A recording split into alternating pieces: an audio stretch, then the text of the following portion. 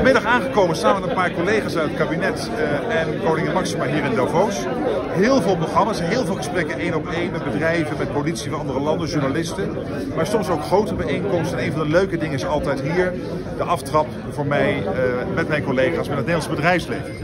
En uh, we hebben hier gesproken over wat iedereen de komende dagen hier gaat doen in Davos.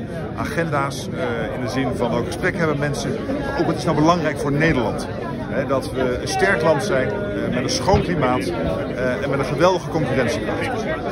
Ja, het is nu woensdagochtend. Hier zie je de kamertjes waar al die gesprekken plaatsvinden. Laten we even eentje zien die net leeg is, waar ik zat met de premier van Libanon. En zometeen een kamertje nummer 6 met de nieuwe premier van Moldavië. Ik ben even zachtjes, maar ik sta hier achter de schermen. Want het hoort ook bij het WEF. Uh, grote panels, dus ik zit zo meteen in een panel. Onder andere met Martin Wolf van de Financial Times. En een aantal presidenten van uh, onder andere Colombia en Rwanda. En uh, baas van de WTO. Dus ik laat je daar even de zaal zien.